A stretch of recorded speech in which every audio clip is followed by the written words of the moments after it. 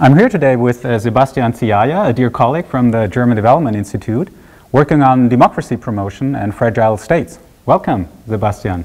Thank you very much. Uh, you recently won the award for the best paper presented at the 2013 joint sessions uh, of the European Consortium for Political Research. Congratulations. Uh, the paper is titled Diversity Trumps Quantity Types of Foreign Aid, Donor Fragmentation, and Democratization. What is its main message? Well, the main message is that it can be good for democracy when development aid is provided by a large number of donors. This contradicts the conventional wisdom that um, aid provided by a large number of donors, which is commonly referred to as um, aid fragmentation, has exclusively negative effects on the recipient country. Yeah, that is quite surprising. And uh, how would you explain uh, the positive effects on democracy? Yeah. Well, here we have to distinguish two different types of aid uh, democracy aid and general aid. Democracy aid is aimed at reforming institutions and at supporting civil society. General aid is aimed at um, designing and funding um, economic policies.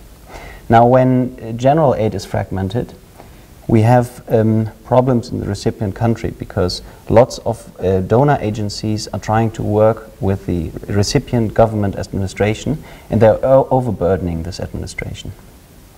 In democracy aid, this problem is much reduced because we have many more actors uh, on the recipient side. We have non-governmental organizations, political parties, and so on. Uh, but, uh, which is more important, is that the diversity on the donor side uh, has, has direct benefits for for the recipient country because um, this diversity enables more actors in the recipient country to find fitting support from the outside. And this, in the long run, improves democracy. Um, this creates a market for democracy, so to say. Now, what used to happen in the past often is that um, donors try to impose um, a, a, blueprint onto an institutional blueprint onto the recipient country. Um, and this uh, often failed because um, democracy is a very um, uh, difficult thing to plan in advance. We have to find out with trial and error which works best. Yeah, and so there is no one size fits all. And uh, how would you say are your results? How reliable are they?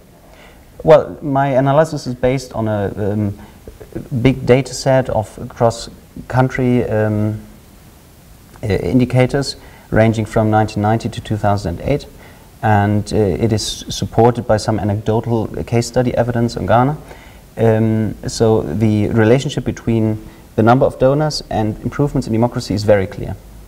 I can say that, but um, in the future it would be nice to better um, find out how the mechanism exactly works, how diversity on the donor side translate, translates into better democracy on the recipient side. Yeah, that brings me to my last question. Uh, what are the lessons learned uh, for development policy uh, from your paper? Well, first I would say the most important lesson is we have to be more critical of um, calls for reducing uh, donor fragmentation because we see that in some instances here in democracy aid and democratization it is beneficial to have diversity, to have, to have different uh, donors present in the recipient country. At the same time, we should be uh, less hesitant of um, um, promoting uh, participation and of promoting mobilization.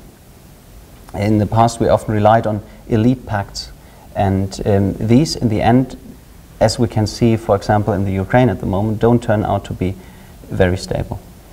Thank you for these insights in your paper, Sebastian. And of course, you can find out more about our work on democracy promotion and fragile states on our website. And so, thank you again, Sebastian Ziaja. Thank you very much.